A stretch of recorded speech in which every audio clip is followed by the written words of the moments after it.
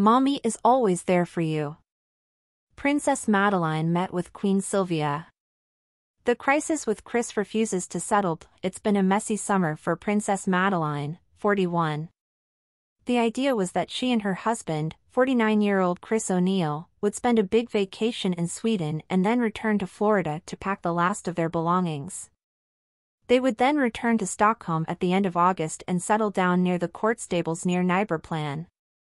However, a couple of weeks later, a sudden court announcement was made in Sweden, there would be no move to Sweden, the court questioned and angered the information manager, 60-year-old Margareta Thorgren, who announced that the move from Florida had been postponed for a year.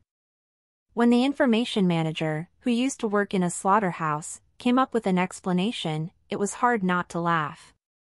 It's a funny excuse. Thorgren claims the couple's move has been postponed due to lack of time. A completely ridiculous excuse. There are many qualified staff at court who can help the princesses with the move, and the Foreign Office can also support with consular matters. Princess Madeleine had problems with her visa to the US a couple of years ago, and then the Foreign Office swooped in and arranged everything. I in fact, it was Chris O'Neill who stopped the move to Sweden, and we can't expect the couple to arrive next year. Huvud is vague on the issue and has not promised a move to Stockholm, that's because Margareta Thorgren knows how dishonest Chris O'Neill can be. The American is angry, frustrated and pissed off as soon as he is seen in public, and according to Stoppa Pressarna, Princess Madeleine is very tired of her husband.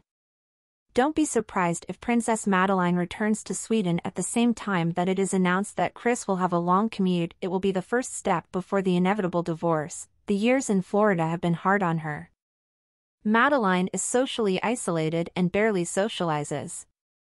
Before her marriage, Princess Madeleine was cheerful and life-affirming.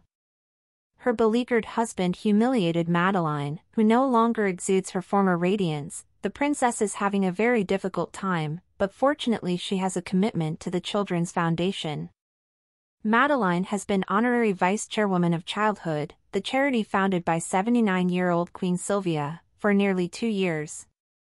Provided from Miami. The idea is that the princess will take on the role of Sylvia in the future, something the queen herself has talked about.